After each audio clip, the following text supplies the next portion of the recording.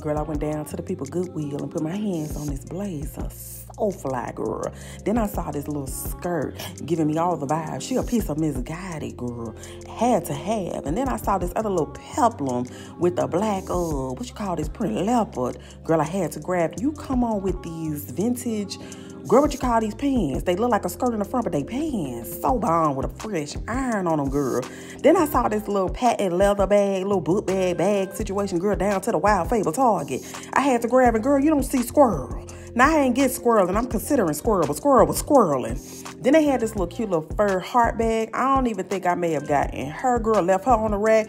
Girl, I don't know what the lightning heels with the sequin. I didn't get them either, girl, but they was cute down to the people. So saw these, wasn't my size, cute. I ended up leaving them, and then girl, I saw this little blue stretch dress. She wasn't cute from the back, so I ended up leaving her, girl, and I was out of the goodwill.